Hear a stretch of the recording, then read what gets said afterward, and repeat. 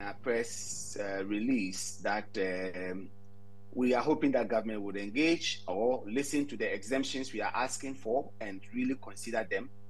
If not, we are engaging with our members. In fact, this statement, you will notice that we took our time to release the statement. A lot of labor unions had come out and the association were still consulting. And this is the posture that we are getting from our members.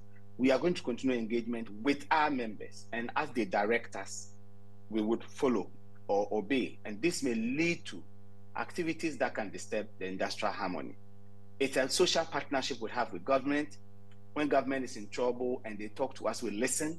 When government said they could not pay these bonds in money, direct um, uh, this uh, social uh, insure, um, pension monies directly to our health sector occupational pension scheme and other schemes, but they were willing to give bond, we understood that it may be difficult for government to cough up that money, and we took our bonds. And if this is how now that bond is going to be treated, I don't think it's fair. So government should not take unilateral decisions.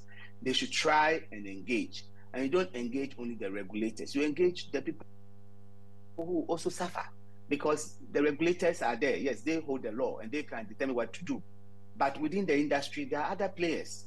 And the regulators, if you go and engage them and don't engage the other players, the boards of the various uh, pension scheme, for us to bring other ideas that can help us solve this problem, I don't think it is fair. So hmm. we will listen to what our members will tell us and we'll do just that.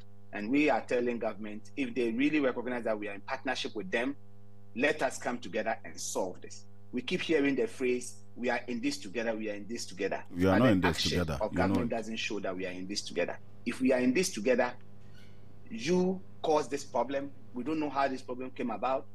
Um, you borrowed and now you've borrowed excessively and you are not able to borrow again, and it has brought all this on us.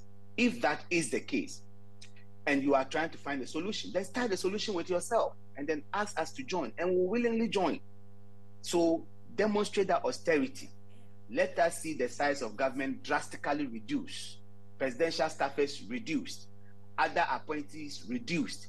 Let us know how much we are going to save by that reduction. Let's block the loopholes the Auditor General have been talking about. How much savings we make from that? And put all this and tell us that even upon doing all this, it is not enough. Therefore, my people, join me. Let's do ABC. Hmm. And see if we will not all discuss and find solutions. Indeed. Dr.